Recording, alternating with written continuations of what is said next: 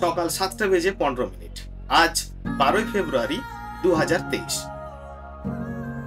তাড়াতাড়ি করে স্নান করে অল্প কিছু খেয়ে বেরিয়ে পড়লাম নন্দনকানন জুলজিক্যাল পার্ক দেখতে যাব বাইরে তখন বেশ ভিড় এবং আজকের তাপমাত্রাটাও অনেকটাই বেশি, প্রায় তেত্রিশ ডিগ্রি সেন্টিগ্রেড হবে। যদিও আমাদের ওখানে, অর্থাৎ মেদিনীপুরের তাপমাত্রা কিন্তু আজকে অনেকটাই কম।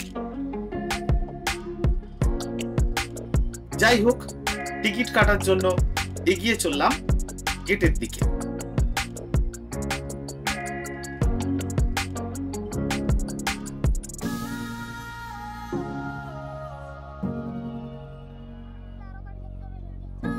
এই নন্দনকানন চিড়িয়াখানা ভারতবর্ষের অন্যতম একটি চিড়িয়াখানা। যা প্রায় চারশো হেক্টর এলাকা জুড়ে বিস্তৃত।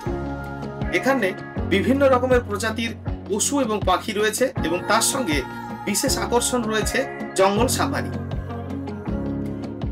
বাস থেকে নামার সময় আমি দেখেছিলাম রোপওয়েগুলি চলাচল করছে জলের ওপর দিয়ে।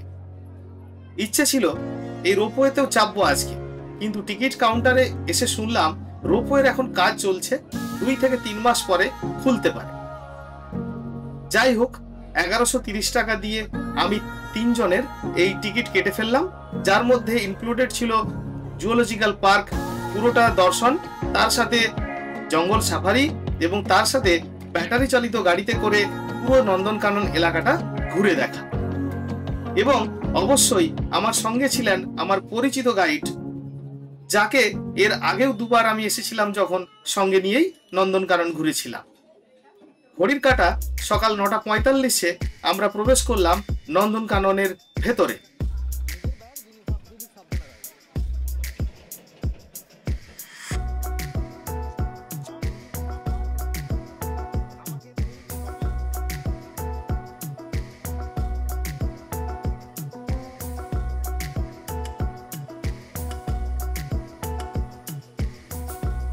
আপনাদেরকে জানিয়ে রাখি এই নন্দনকাননের ভেতরের পুরো এরিয়া কিন্তু প্লাস্টিক ফ্রি জোন এরিয়া অর্থাৎ এই গেটের ঢোকার সময় আপনাদের কিন্তু প্লাস্টিকের বোতল বা প্লাস্টিকের কোনো ক্যারি ব্যাগ এইগুলো কিন্তু সবই জমা দিয়ে ভেতরে প্রবেশ করতে হবে। এই হলো ব্যাটারি চালিত গাড়ির কাউন্টার অর্থাৎ এই কাউন্টার থেকে আপনাদেরকে ব্যাটারি চালিত গাড়িতে উঠতে হবে।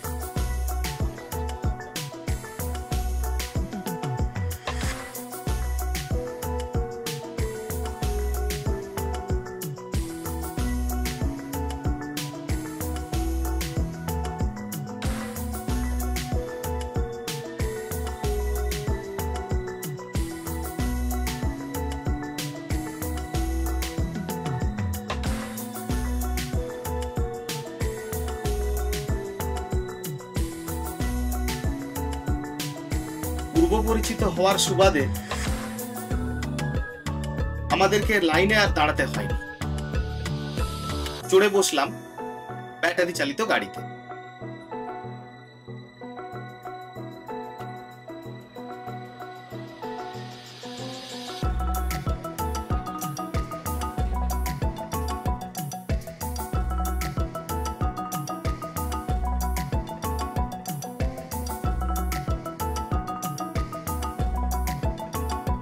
প্রথম স্টপেজ চিতল হরিণ এবং নীলগায়ের কাছে।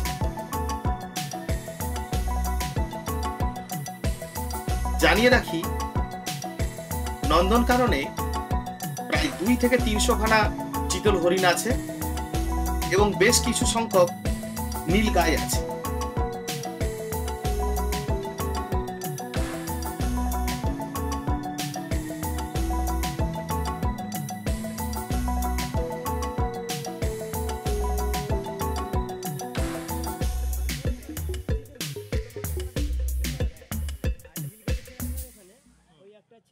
সামনের দিকে কিছু চিতল হরিণ দেখা যাচ্ছে, ওপাশেও কিছু চিতল হরিণ আছে।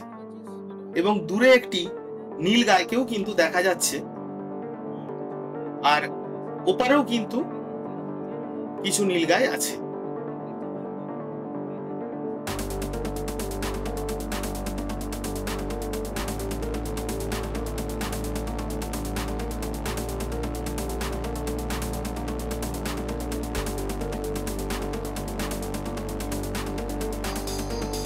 এই নীলগাই হরিয়ানার রাজ্য পশু।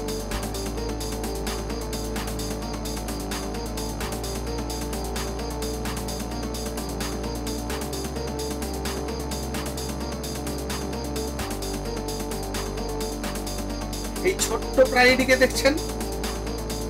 এরা হচ্ছে কাঠবিড়ালি বাঁধ ছয় ইঞ্চির মতো চেহারা নয় ইঞ্চির মতো লেজ আর ওজন ছশো থেকে সাতশো গ্রাম। এরা তিন মন থাকে এখানে। এদের নাম আছে ইনা মিনা ডিকা। অবশ্য এই নাম এদের দেওয়া নয়। চিড়িয়াখানার যারা অধিকর্তা আছেন, তাদের দেওয়া।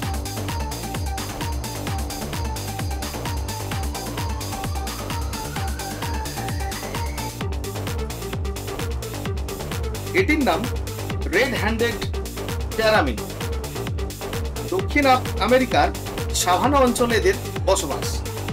ওজন চারশো থেকে ছশো গ্রাম।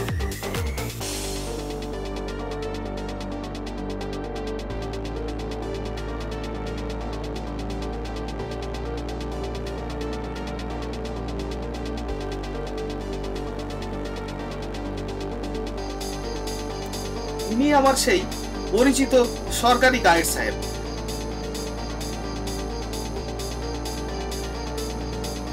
এবার আমরা দেখা করতে যাচ্ছি বন মানুষের সাথে, যার এখানের নামকরণ জুল্লু। জুল্লু ছাড়াও এখানে লক্ষ্মী কম্পেটা এবং জুল্লুর বড় মেয়ে রাখি থাকে। মূলত সিঙ্গাপুর থেকে এই বন মানুষগুলিকে এখানে আনা হয়।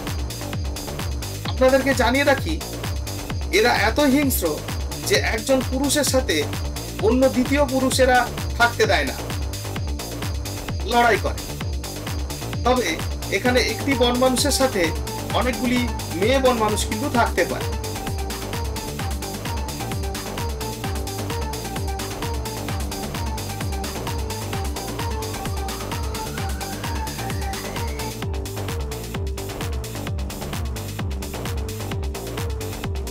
এবার আমরা আই লাভ নন্দনকাননের কাছে এসে কিছু ফটোশুট করলাম।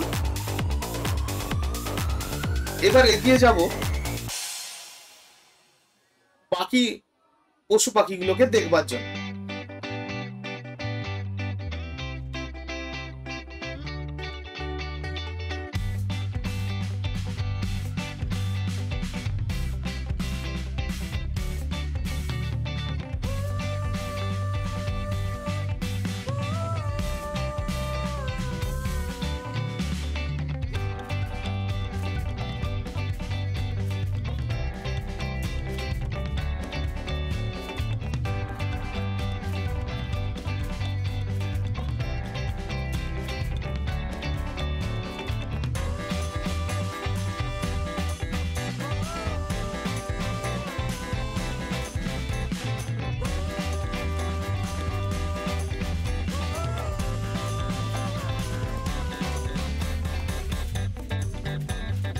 ডাইনোসরের পেটের মধ্যে দিয়ে আমরা ঢুকে পড়লাম সরীসৃপ দেখব বলে কি নেই এখানে?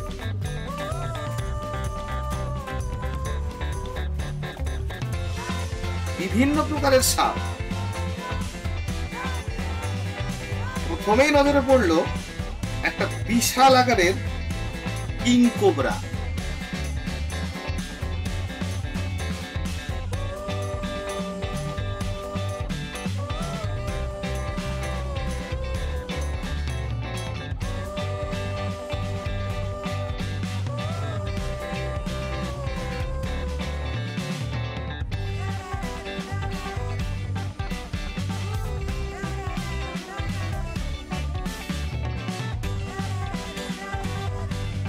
এই কাঁচের ঘরটাতে থাকে বড়া সাপ।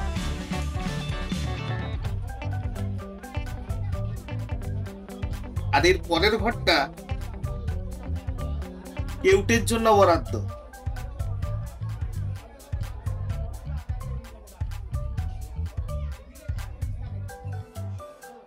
এই এলাকাটা কেমন একটা স্যাঁতস্যাঁতা টাইপের গন্ধ। খুব একটা ভালো আমার লাগেনি।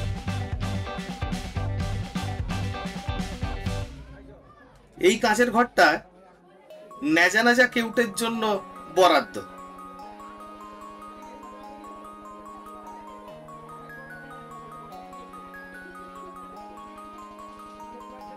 এইগুলো ছাড়াও এখানে ঢ্যামনা ব্রাসেল ভাইপার, বিষাক্ত গিরগিটি,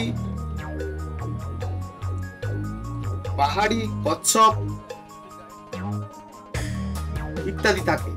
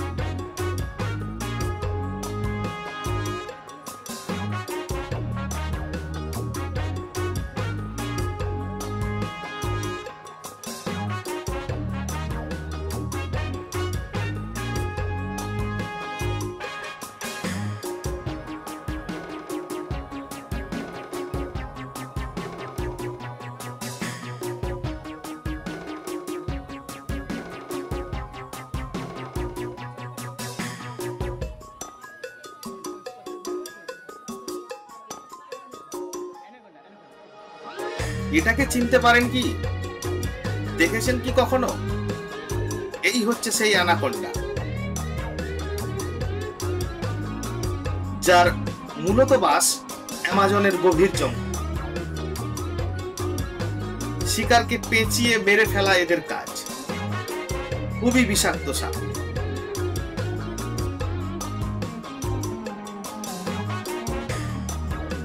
আর এই কাজের ঘরটি বার্মিজ পাইথনের জন্য বরাদ্দ।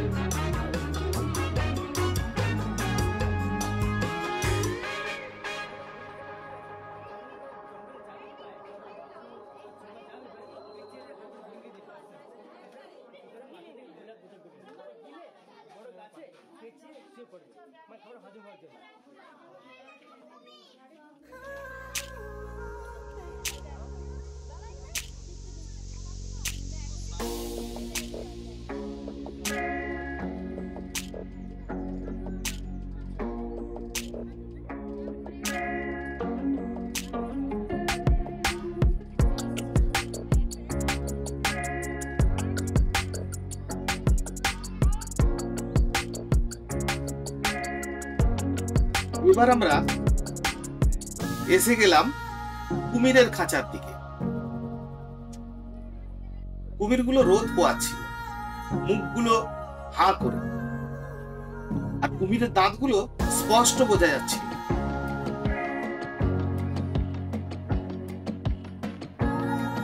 বেশ কিছু কুমির দেখে এবার আমরা এগিয়ে চলেছি, জলহস্তি দেখতে যাব।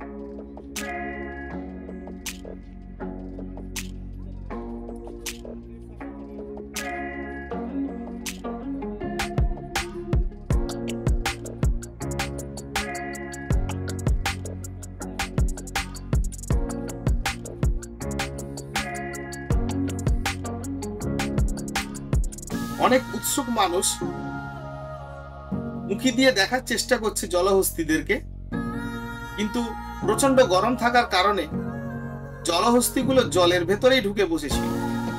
মাঝে মাঝে টুকটাক করে একটু মাথা তুলছিল, যেগুলো কিন্তু মোবাইলের ক্যামেরায় বা আমাদের এই ক্যামেরায় ধরা পড়ছে না।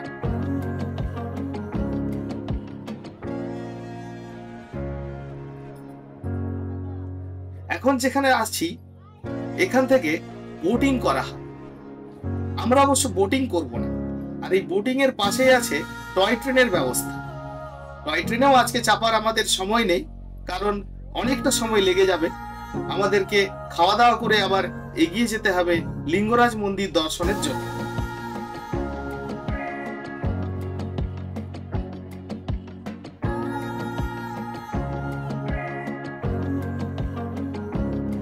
এই সেই রোপওয়ে, যার কথা আমি একটু আগে আপনাদেরকে জানিয়েছিলাম, যদিও রোপওয়েটি এখন বন্ধ আছে। কাজ চলছে।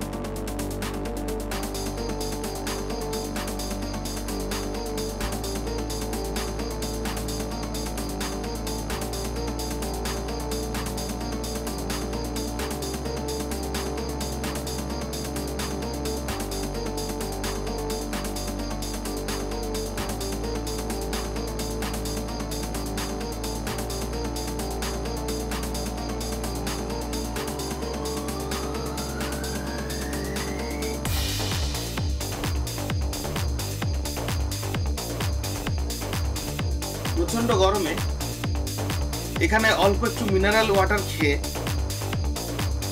এবার যাব আমাদের পরবর্তী ডেস্টিনেশন রাইনোসরাস দেখে জঙ্গল সাফারি করার জন্য। চেপে বসলাম ব্যাটারি চালিত গাড়ির পেছনের সিট